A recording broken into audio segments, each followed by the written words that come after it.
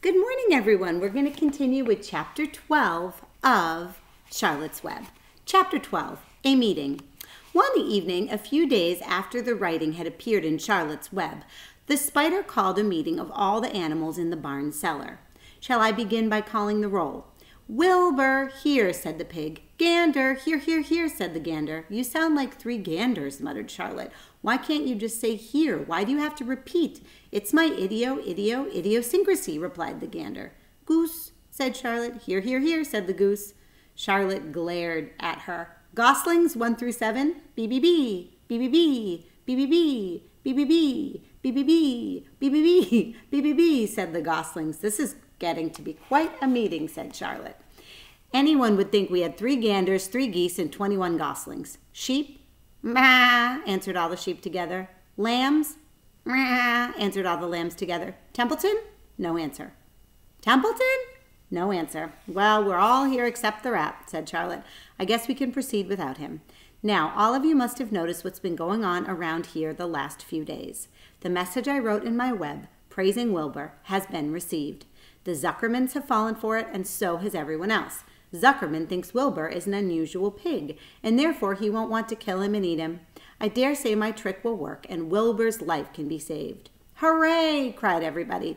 Thank you very much, said Charlotte. Now I called this meeting in order to get suggestions. I need new ideas for the web. People are already getting sick of reading the word some pig. If anybody can think of another message or remark, I'll be glad to weave it into the web. Any suggestions for a new slogan? How about Pig Supreme? asked one of the lambs. Not good. It sounds like a rich dessert.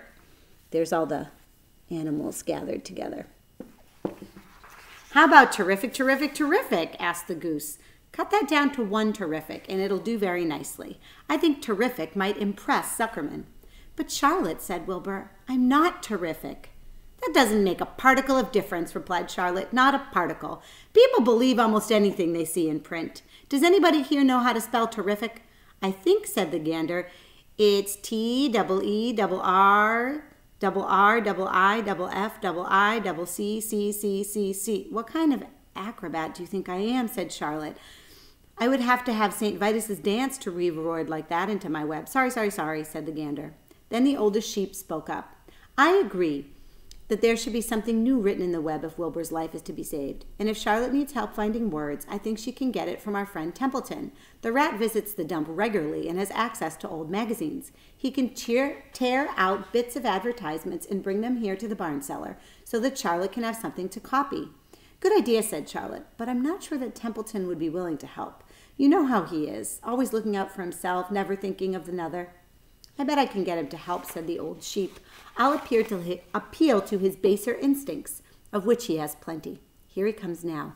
Everyone keep quiet while I put the matter up to him. The rat entered the barn, as he always did, creeping close along the wall. What's up? he asked, seeing the animals assembled.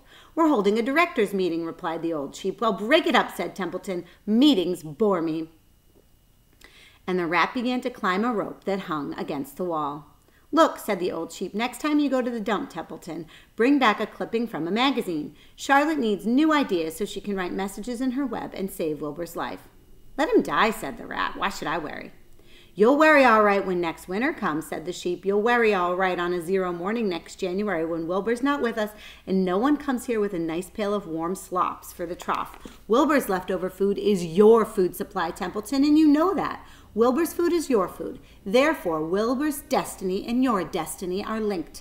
If Wilbur is killed and his trough stands empty day after day, you'll grow so thin we can look through your stomach and see objects on the other side. Wilbur's, I'm sorry, Templeton's whiskers quivered. Maybe you're right, he said gruffly. I'm making a trip to, trip to the dump tomorrow afternoon. I'll bring back a magazine clipping if I can find one. Thanks, said Charlotte. The meeting is now adjourned. I have a busy evening ahead of me. I've got to tear my web apart and write terrific. Wilbur blushed. But I'm not terrific, Charlotte. I'm just about average for a pig. You're terrific as far as I'm concerned, replied Charlotte sweetly, and that's what counts. You're my best friend, and I think you're sensational. Now stop arguing and get some sleep. And we'll continue with Charlotte's Web tomorrow. Take care, guys. Bye.